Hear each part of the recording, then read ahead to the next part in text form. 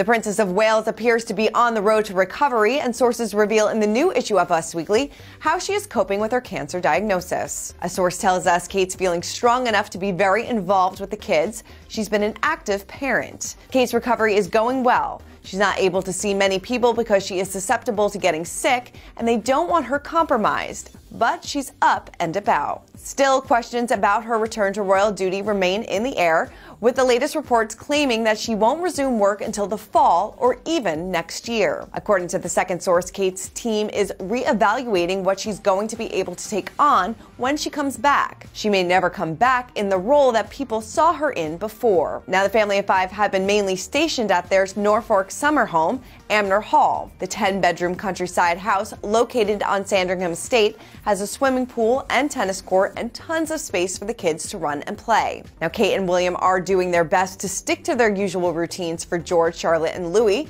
When school's officially out, they'll hang around Anmer Hall, where they love to bake, cook, and spend countless hours outside. Now, sports even may be on the agenda as well.